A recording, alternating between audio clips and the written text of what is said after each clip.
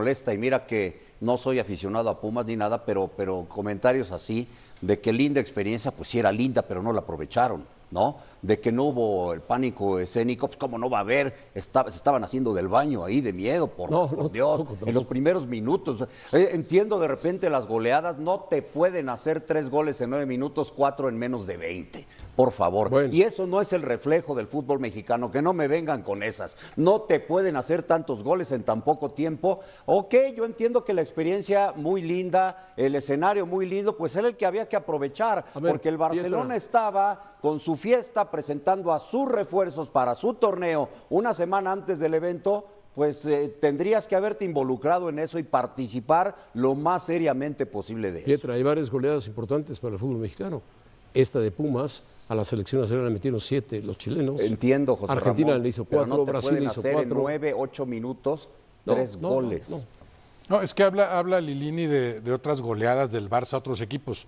Yo ni siquiera del Barça de Messi dirigido por Guardiola, del mejor Barça que, que nos llevó, con, con Xavi Iniesta, yo no recuerdo un partido, claro, no los veo todos, pero de lo que he visto del Barça, no recuerdo un partido en el que superara con tal facilidad a su adversario. Olvídate de los goles, si ha metido seis o ha metido ocho, pero aquí no metió doce porque no quiso. O sea, yo no recuerdo otro partido del Barça, los habrá amistosos a los que no les damos ese seguimiento. Este no debió ser amistoso para Pumas, no era un partido amistoso para Pumas, No, era el no. partido de su vida para muchos de estos jugadores. Bueno, pues perdieron por seis goles a cero. Hernán Pereira, ¿qué opinas? Que la verdad que dejó una imagen vergonzosa, Pumas, vergonzosa. Para eso no hubiese ido, se hubiese quedado en México entrenando para el partido frente al América. Fue lamentable la actuación de Pumas. Bien lo comento, coincido con todos los conceptos de los compañeros, coincido con lo que dice Roberto.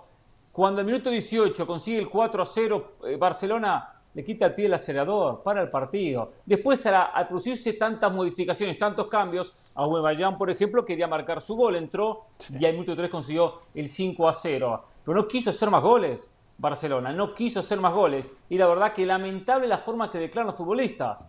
Porque eh, es un prestigio que México le cuesta ganar, que le cuesta competir, que le cuesta enfrentar a estos rivales. Y si lo va a enfrentar para estos resultados, el año que viene no van a llamar a un equipo mexicano. Realmente muy, muy triste lo de Pumas. Pero lo del fin de semana es diferente. ¿eh? Ahí se pasa la página, ¿eh? porque ellos saben que esto fue un amistoso y que el fin de semana es por puntos. Bueno, efectivamente ahí se pasa la página y ahí Pumas tiene la posibilidad de eh, cobrarse la revancha tratando de ganar al América. Bueno, Otro jugador dijo, estoy contento, ¿no? O escuché mal, estoy contento, ya, ya de regreso. por la digo, experiencia, linda Estás contentísimo cuando vas a Barcelona, estás contento de Cuando regreso. te metieron seis, uh, Es, es- es bueno increíble. tiene que pasar la página urgentemente. Lamentable. Sí, se ve que no la pueden pasar. o sea, Y no, no saben van a qué enfrentar decir. el fin de semana al América y van a pelear, van va a ser otro Pumas con el América en la Liga de sí, México. pero ya es el torneo local, ya es otra cosa. Tienes Correcto, la gran correcto. oportunidad. Pero José tú Ramón, de- pensabas que con ese escenario, Pumas le iba a ganar al. Barcelona, No, ¿pensabas de no, y se eso? trataba de Bueno, competir. jugarle Y ni distinto. compitieron. ¿No? Entonces, cuando me empiezan a José comparar Ramón. el fútbol mexicano, yo les recuerdo aquel momento del 2004 y les recuerdo el Mundial de Clubes dos veces y les recuerdo varias cosas No, no, que no. sí, Pietra, eh, no donde se va y se compite. A excepción del Santiago Bernabéu, se gana poco, se gana muy poco. Pero se compite, José Ramón, por lo menos que se compita. Sabemos, compites cuando juegas en Estados Unidos con equipos Sabemos que es muy difícil competido en ganar. el Mundial de Clubes con el Liverpool y se ha competido también con el Bayern Múnich y se ha competido Ah, y se le ha ganado al, al Real Madrid en el Trofeo Bernabéu. Jorge José Ramón, hemos competido con los equipos sudamericanos cuando estamos Pero- en la Libertadores, en la Copa Sudamericana, y hemos dignamente jugado y hasta hemos aprendido y mejorado eso. Y resulta que en la Copa América nos hemos enfrentado a Argentina, Brasil, Uruguay, Colombia, Ecuador, y resulta que estábamos en un nivel competitivo muy alto. Ahora no tenemos esa oportunidad y ahora estamos estancados. Y como estamos estancados, nos tenemos que conformar con una invitación de paseo. Se fueron a pasear los jugadores de, de Pumas y el cuerpo técnico de Pumas. Se fueron a pasear, a dar un tour ahí Yo no a creo, yo- Barcelona. yo creo que fue muy superior- superior nosotros- Barcelona. José- José Ramón, nosotros hicimos eh, paseos y visitas, esto, lo otro, pero fuimos mentalizados, fuimos preparados, fuimos eh, con la conciencia, como ya lo dijo Roberto y lo comenté Era anteriormente, Pumas, era otro es Pumas. el partido de tu vida, Claro, José estoy de Tienes que prepararte como si fuera la final de tu Copa del Mundo de tu vida. Los jugadores que jugaron en con Pumas, o todos los que estuvimos en esa experiencia de ganar la Real Madrid en Santiago Bernabéu, hasta la fecha nos siguen recordando que fue una hazaña, Y ellos, en lugar de una hazaña, van a tener el recuerdo de una vergüenza.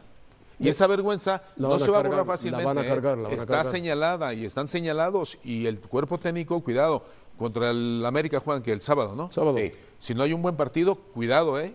Cuidado porque Cuidado, la gente, cuidado. Bueno, vamos la a ver. gente castiga. ¿Qué, qué quería decir Hernán? Perdón. No, que lo, lo que uno pretendía que Pumas compitiera como compitió en América contra el Chelsea, contra el Manchester City y contra el Real Madrid. Empató dos, perdió uno, contra equipos que son más poderosos que el Barcelona.